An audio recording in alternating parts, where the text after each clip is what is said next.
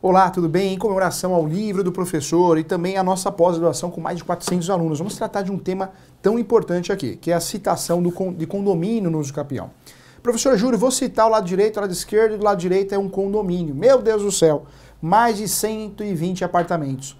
Vou ter que vender o carro, a alma para pagar essas citações, já que eu não tenho a justiça gratuita na ação de uso capião. É verdade isso? Mentira, tá? Mentira, porque na verdade a citação na ação de uso capião de uma empresa é o representante da, da empresa.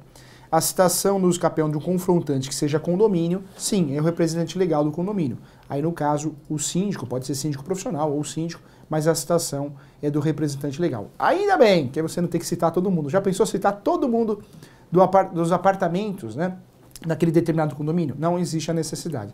Somente os representantes legais, tá bem? Falo representantes, pode ser o representante ou, ou representantes, porque nós temos condomínios que tem um, um síndico por torre. Então, aí teria que citar todos os síndicos eh, de cada torre, tá bom? Então, fique atento em relação a isso. Um abraço para você, até o próximo, a próxima aula, a próxima informação.